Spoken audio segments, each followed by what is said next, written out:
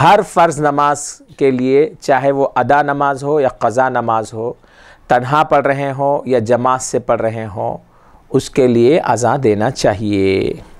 Number ایک. Number دو، بغیر وضو کے اذا نہیں دینا چاہیے۔ بہتر ہے کہ بغیر وضو کے نہیں دینا، وضو کے ساتھ ہی دینا۔ دے دیے تو ہو جاتی۔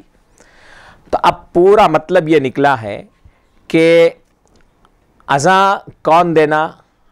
عادل۔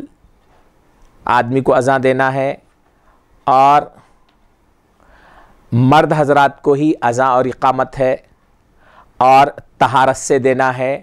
یہ مؤذن کے صفات ہے یعنی مؤذن آدمی رہنا، مؤذن جو ہے سو نیک رہنا، مؤذن اذا دیتے وقت میں تہارت سے وضو سے رہنا، یہ صفات ہے۔ لیکن اس کے باوجود اگر کوئی فاسق آدمی بھی اذا دے دیا تو اذا ہو جاتی عورت بھی اذا دے دیے تو اذا ہو جاتی۔ مسجد کی بھی اذا اگر عورت دے دی تو ہو جاتی۔ جنوبی حالت میں بھی دے دیے غسول کی ضرورت تھی تو بھی دے دیے تو بھی ہو جاتی لیکن ایسا نہیں دینا ہے۔ کسی وجہ سے کبھی کیا ہو جاتا بعض شہر ایسے کوئی چزا نہیں دے رہا تو اب سب لوگ گناہگار ہو جاتے ایک خاتون اٹھ کے آ تم نہیں دے تو تم تمہارا کام نہیں کرے تو میں کرتی ہوں تمہارا کام۔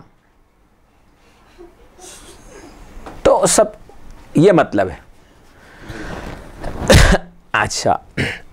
تو اگر ہم نماز قیام کی مقیم ہے، اس وقت پڑھ رہے ہیں، تو ہر نماز کے لیے کیا کرنا ہے؟ اذان دینا ہے۔ اب فرما رہے ہیں کہ اگر سفر میں ہے تو بھی اذان اور اقامت دینا کیا؟ تو اللہ کے رسول صلی اللہ علیہ وسلم سے ایک حدیث نقل کی گئی ہے کہ حضرت مالک بن حویرث فرماتے ہیں کہ میں اللہ کے رسول صلی اللہ علیہ وسلم کی خدمت میں آیا۔ میرے ساتھ میرے دوست بھی تھے۔ ہم دونوں کچھ دن تک اللہ کے رسول صلی اللہ علیہ وسلم کے پاس آئے۔ دراصل وہ سیکھنے کے لیے آئے تھے۔ مذہبی تعلیم اللہ کے رسول صلی اللہ علیہ وسلم سے دین سیکھنے کے لیے آئے تھے۔ جب سیکھ لیے کر لیے، اب فرماتے ہیں کہ فلما اردن الانتقال اب ہم لوگ جب واپس جانا چاہ رہے تھے تو ہم نے اللہ کے رسول صلی اللہ علیہ وسلم سے اجازت دی، لی۔ تو اللہ کے رسول صلی اللہ علیہ وسلم نے ہم سے ارشاد فرمایا کہ دیکھو، جب بھی نماز کا وقت آ جائے تو اذان دے دینا۔ تم دونوں اذان دو اور تم دونوں اقامت بھی کہو اور تم میں کا جو سب سے بڑا ہے وہ امامت کرے۔ یعنی اب تم سفر میں جا رہے ہیں، راستے میں نماز کا وقت ہو گیا تو تم دونوں میں سے کوئی بھی اذان دے سکتا۔ اور کوئی بھی اقامت کہہ سکتا ہے، البتہ امامت کیا کرنا ہے؟